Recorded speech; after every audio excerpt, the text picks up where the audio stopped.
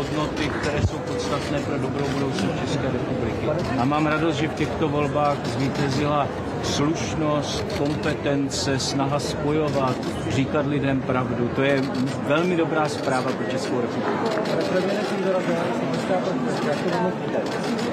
Je to eh, krásné gesto přátelství a myslím, že to ukazuje tu hlubokou spolupráci mezi oběma našimi zeměmi a skutečné bratrství 30 let poté, co naše země šly každá svou cestou a rozdělili jsme společný stát. Pane budoucí prezidente, a co říkáte vy na to, že vás přijela podpořit slovenská prezidentka? Pro mě to bylo sice trochu překvapení až na poslední chvíli, ale já si toho moc vážím, protože s lidmi, kteří jí pomáhali v kampani, tak jsem spolupracoval dlouhou dobu a musím říct, že pro mě v řadě volební udělala inspirací. Pane premiére, až skončí, oslavy začne práce, takže budete s prezidentem spolupracovat, co budete napravovat jako co se vám nezdálo? Já jsem teď přišel pogratulovat Petru Pavlovi k vítězství, které je mimořádně silné. To je potřeba říct. To vítězství Petra Pavla, občanského kandidáta a hodnot, které stělesňuje nad všemi těmi odrazy, lhaním a rozjitřováním společnosti, je mimořádně silné. A mandát, který pan prezident má, je velmi silný. Takže dnes jde o to, že mám z toho radost a přišel jsem mu poblahopřát. Budeme mít první zkusku, budeme se bavit o těch dalších krocích. Je tu nějaký časový prostor, než pan prezident Pavel nastoupí do funkce. Nastavíme nějaký systém spolupráce, určitě musíme spolu mluvit pravidelně a je zde spousta věcí, na kterých se budeme domlouvat. Co by teď měli střed voliči, kteří podpořili druhého kandidáta? Ta dobrá zpráva pro všechny je, že zvítězil kandidát, který měl v programu spojovat společnost a pan prezident Pavel to říkali ve svém úvodním vystoupení. A i já v reakci na volby jsem vyzval k tomu, abychom trošku sklidnili tu atmosféru ve společnosti, abychom se snažili navzájem naslouchat a snažili se najít to, co nás spojuje, protože věci, které jsou před námi, jsou těžké, čelíme souběžně několika krizím. Ani ten letošní rok nebude jednoduchý a je potřeba, abychom maximálně možné míře spolupracovali. Ale e, musím říct, že to sklidnění musí přenést i ti, kteří do společnosti to rozjitření vnášejí. Třeba tím, že přebírají argumenty extremistických politických sil, využívají strachu lidí, oprávněných obav lidí. To všechno jsou věci, které nám nepomohou a nezajistí nám lepší budoucnost. A proto jsem rád a šťastný, že vyhrál Petr Pavel s programem, který je přesným opakem těch extrémních postojů. Poslední slibuji, váš protikandidát vám pogratuloval na sociálních sítích, počinil taky soukromně třeba SMS -kází. Zatím jsem to nestihl, takže já jsem se k tomu nedostal. Možná ano. Moc krát děkuji. Děkuji. Naschledanou. Tolik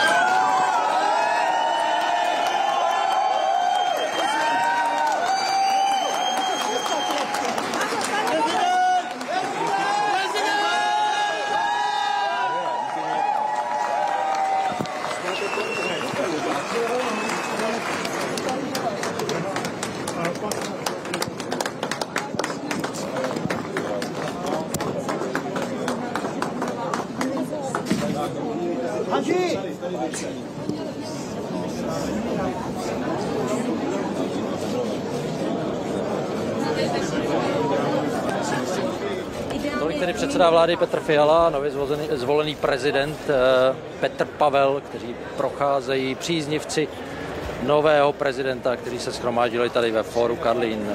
Slyšeli jsme už předtím jejich vyjádření, teď ve své podstatě zopakovali to, co zaznělo předtím, že se těší na vzájemnou spolupráci a ta, ty mantinely, nebo řekněme ty, tu, tu formu té spolupráce budou nastavovat v dalších, v dalších dnech, kdy se opět spolu potkají. Zdá se, že další vyjádření budou pokračovat právě teď.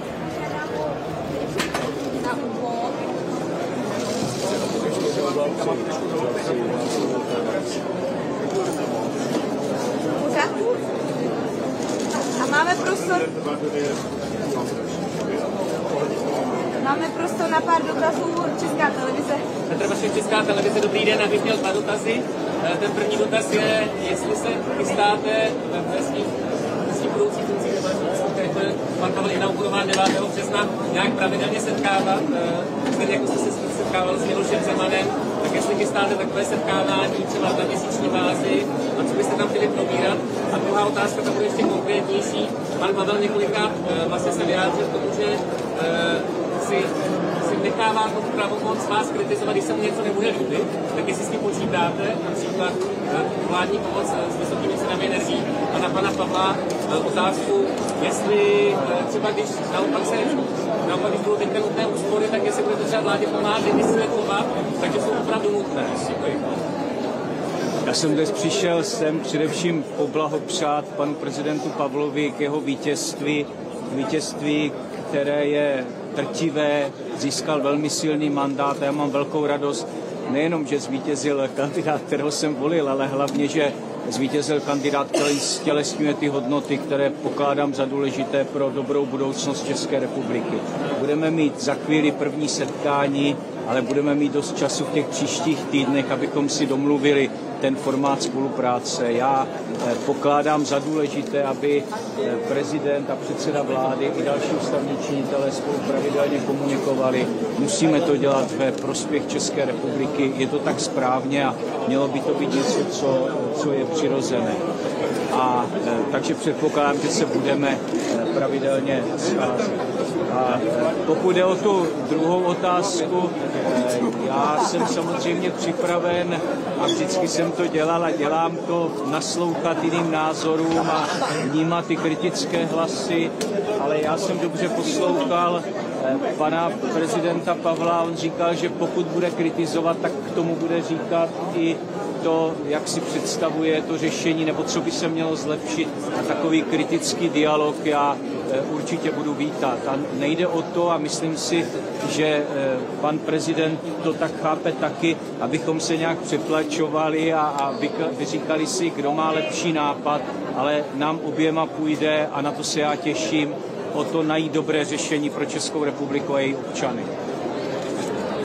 Já s tím samozřejmě souhlasím, protože, tak jak jsem říkal celou kampaň, já vidím eh, smysl v normální komunikaci, která nemusí vždycky být souhlasná, ale eh, je zaměřená na dosažení výsledku. A politika je o kompromisu a já si myslím, že eh, o tom to je, protože hledáme kompromis, který bude dobrý ne pro vládu, pro prezidenta nebo pro opozici, ale pro občany téhle země. Na tom by nám mělo záležet.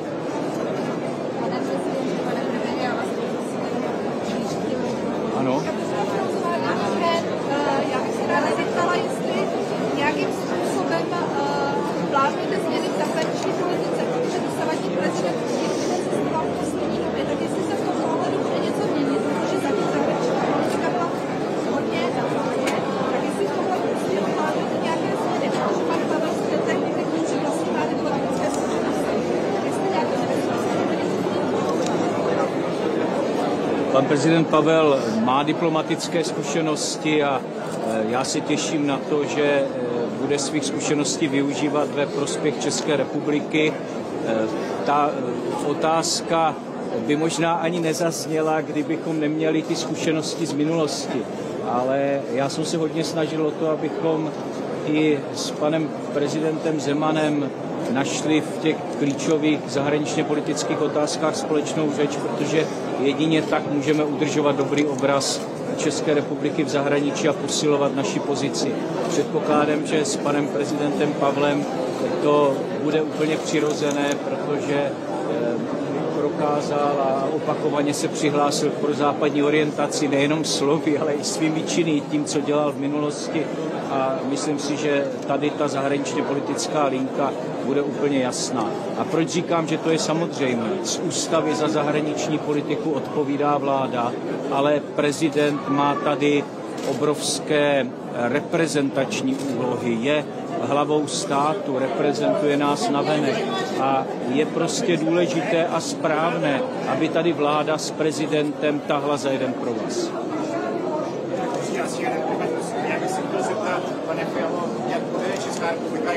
Na.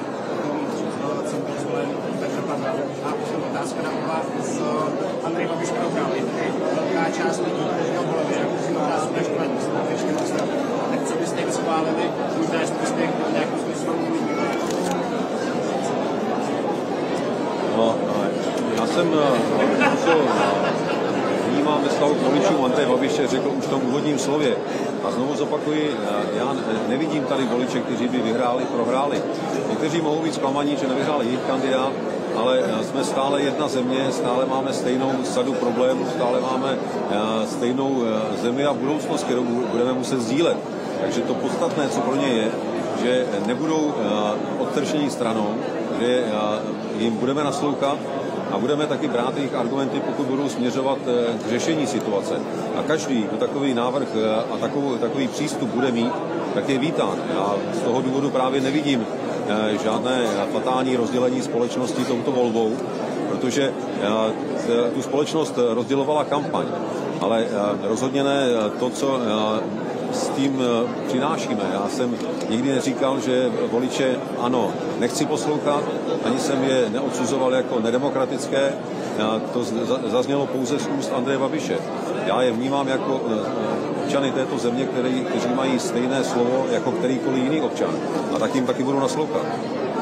Děkujeme za pozornost. Já poprosím pana prezidenta a pana premiéra, aby se odebrali do záření. Děkujeme. Děkujeme. Se budeme